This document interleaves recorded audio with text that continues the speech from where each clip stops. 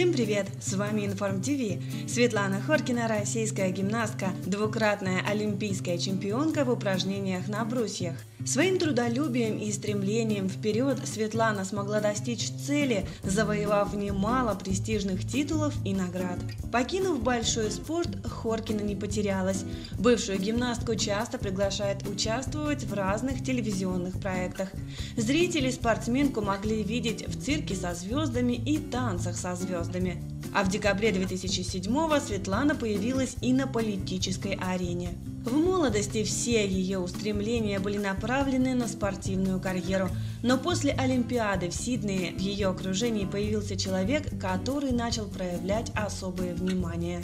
О том, что у чемпионки роман, публика узнала только после того, как Светлана забеременела. В июле 2005-го в Лос-Анджелесе она родила сына Святослава. Мальчик, кстати, получил американское гражданство. Об этом событии заговорили все СМИ. Некоторое время отцовство приписывали артисту Ливана Учанишвили, но вскоре в прессу просочились слухи о том, что папой мальчика является бизнесмен Кирилл Шубский, муж актрисы Веры Глаголевой.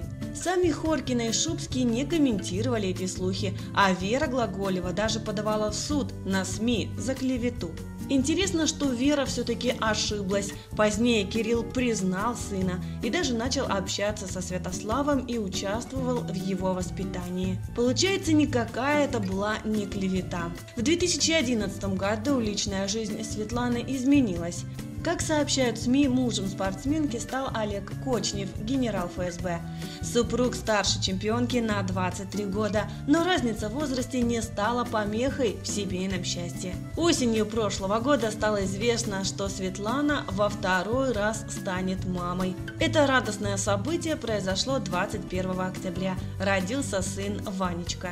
Сейчас Святослав готовится к тестированию и будет сдавать основной государственный экзамен. Вначале Вначале он хотел связать свою жизнь с наукой, потом хотел стать айтишником и вот теперь определился. Он хочет связать свою жизнь с дипломатической сферой. А Светлана опять после беременности вернулась к активной работе. Она ездит по России с мастер-классами и занимается политикой.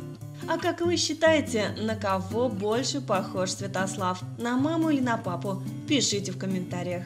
Если вам понравилось наше видео, ставьте лайк, подписывайтесь и жмите на колокольчик. Удачи!